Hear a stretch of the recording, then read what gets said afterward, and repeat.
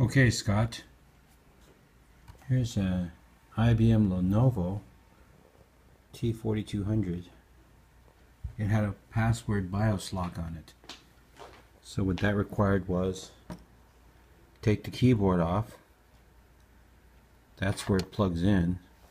Then over here, that plug goes to the CMOS battery.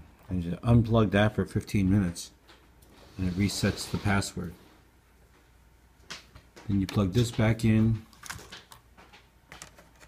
slide the keyboard in top side first, and then slide it down a little bit to get it to fit in there. All these little tabs right here, they slide down. And then your keyboard's insecure. And then you put the screws all back in from the bottom. And you've just reset the power on password for a Lenovo.